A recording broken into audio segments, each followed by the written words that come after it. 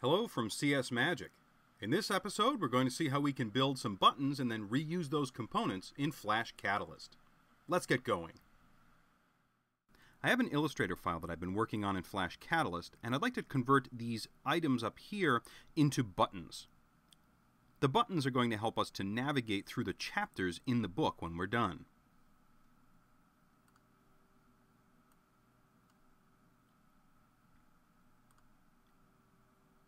Let's select this button here. Panel, I can see that this group has been selected. The Layers panel is really handy because it allows us to select objects or collections of objects very quickly. For instance, I can pick the next one simply by clicking the group here and it selects the entire group. If I twiddle down the first group, we can see all of the components that live inside. I can see another group inside of the first group. This group consists of the outline of that rounded corner rectangle and the fill. These are separate objects in Flash, and so when that Illustrator file gets imported, those single objects in Illustrator get converted into multiple objects in Flash Catalyst. Let's select that first group now. Simply click on the top level of the group in the Layers panel. Now I'd like to convert this into a button. I can do this with my heads-up display. Choose the button component here. Buttons in Flash Catalyst are like buttons in other applications. We can define different states, such as the up, over, down, and disabled states. Let's do that now. Let's first look at the up state. Click on up, and now we can see all of the states listed here. We're beginning with the up state, and let's go back to the Layers panel. I want to work on the fill. Select the pink rectangle and look down at its properties. Its fill currently is a pink color. Let's change it to a gradient. I don't like this particular color scheme, so let's see if we can change it. To choose different colors for the gradient stops, simply choose the swatch that's underneath the triangle, and then you can pick. Let's pick a reddish color. And then for this one, we'll pick something yellowish.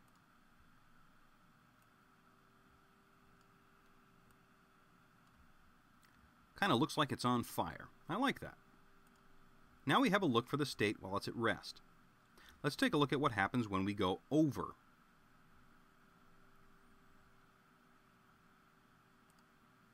We want it to be obviously different, and so let's make a highlight and a different fill.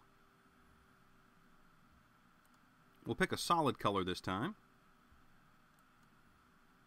Something reddish and also we'll make an inner glow.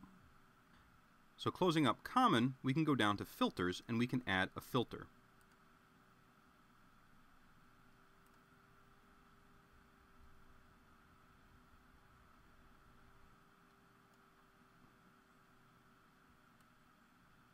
I'm just playing with the strength and the blur.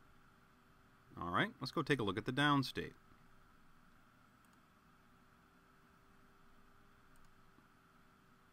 In the down state, we'll add an outer glow.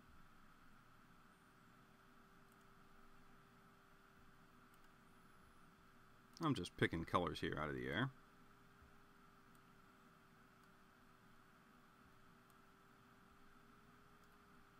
And we'll change the fill color.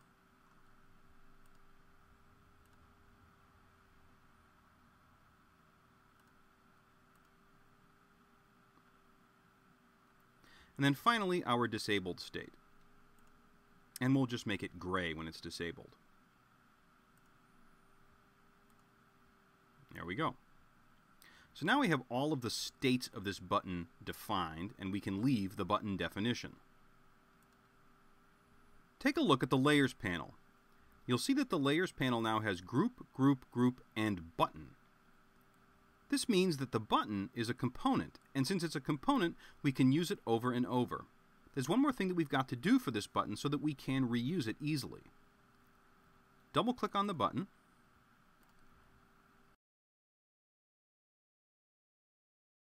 and then from the Layers panel, choose the text here. We're going to convert this to the label text of the button.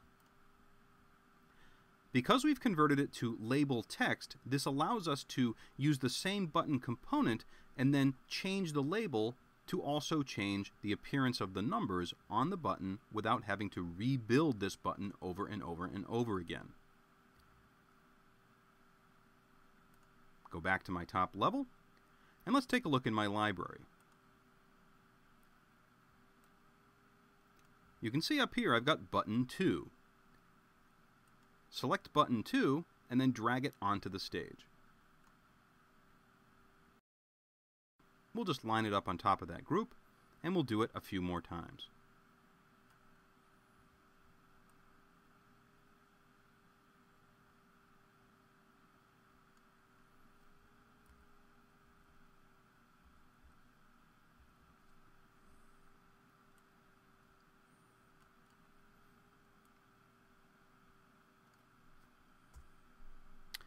And now we can change the labels. So this one here should be Chapter 2.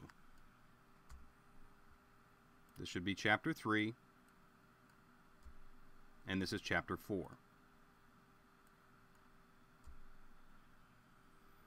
Let's go back to our Layers panel, and we'll delete these extra pieces now. Hold down your Shift key, and then delete. Let's preview these buttons and see what they do.